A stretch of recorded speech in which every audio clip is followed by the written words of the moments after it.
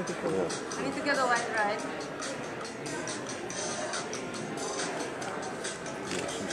Yeah. Yeah.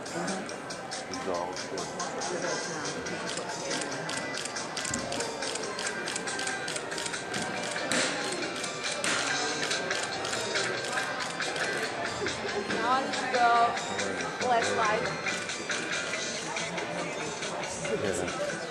light. And it's difficult to make it smooth because like you don't have always the same exposure. So take a picture like really sturdy. I look. Move down. Take a picture. Looks bad. Delete without trying not to move. Speed up the or slow slow slow down the shutter. Take another one. Looks good. And this whole thing took me like five minutes just to make this stupid thing, but it ends up looking good. That you took of a Golden Gate Bridge at night, and you want to put them in. You don't want them to just fly in less than a second, right? You can do some hackery there. You can pretend that that one shot that you've done and like perfected is really five shots. You can just crop it. You can multiply it five times and like crop it in like slightly weird ways and maybe zoom in. And it looks like someone took like five shots of the bridge at night. It's like five amazing shots. And I do have some of those tricks there with the night shots because you cannot possibly take 40 good night pictures there. You'll freeze your ass there all night, you know? So I go to develop module and I go to crop and then I'm cropping 16 by 9 HD like this. Now I don't like the colors on this, so let's make this into a black and white. Uh, so I go and just pick one of these, or I can use one of, this is my favorite. No, no, yeah, let's do black and white. Now, I don't know what this looks like, but when I copy the setting and I move it over here, is it too bright? Better? Okay. And then maybe we can sharpen it.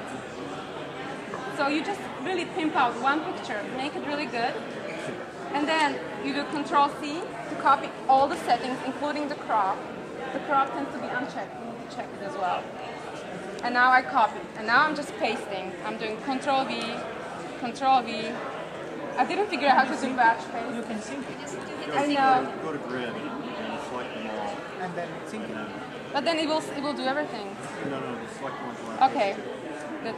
So so I first one and then the last one. Select the last one. And now control V. I press control V, nothing's happening. I Uh, yeah, I it. What do I do? Sync setting. Sync settings, synchronize. Okay.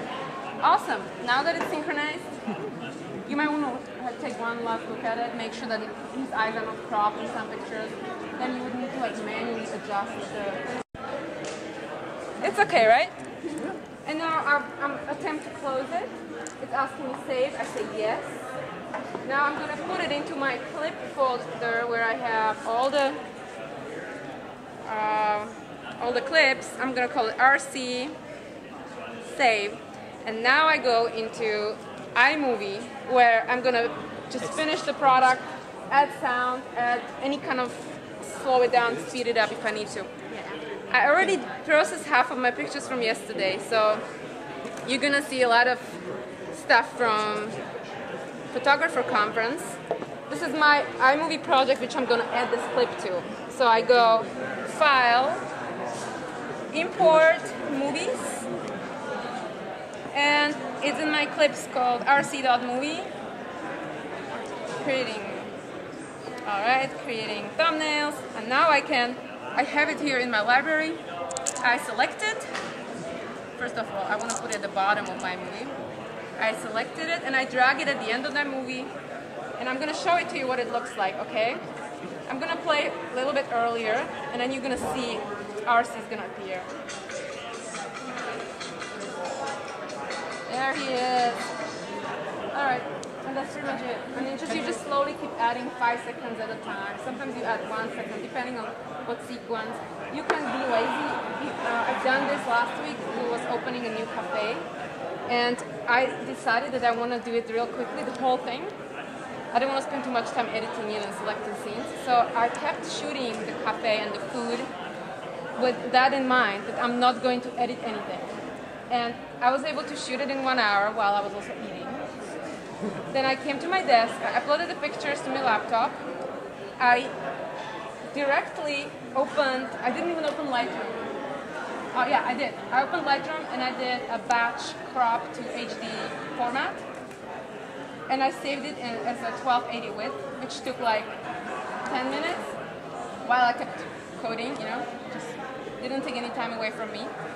And then I uh, went to the QuickTime 7, exported into a giant, one giant movie that was like three and a half minutes. Then I created a new project here in the iMovie, imported that one movie, overlaid it with the sound, and I realized that the song ends 30 seconds earlier, before the end of the movie. And all I had to do, I spent 30 minutes nipping 100 milliseconds here, 100 milliseconds there. Some scenes were boring, so I nipped the whole two second scene until it matched the length of the movie. You're always shooting manual, right? You shoot aperture priority. Okay, I'm just gonna play it all. Aperture priority. No, manual, manual, everything manual. So the airplane, it's important to show how you travel, so it's not just like, oh, a beach and me on the beach. The streets, circle the objects, food, random shots, put them together in one, one crazy blinking sequence. Food, a lot of food in Paris. Sushi, uh, streets, random people on the street, museum. If you don't have tripod, bring uh, a Ziploc bag with beans in them. They cannot pick you out with that because it's not technically a tripod. It's light, it fits in the bag. Beans in a Ziploc bag are really light. And you can position the camera anywhere you want without a tripod. Coffee shop, I was not allowed to shoot in. So when the server turned around, I just kept like making sequences, but he kept hearing it. He always looked back and I'm like, so it was kind of illegal.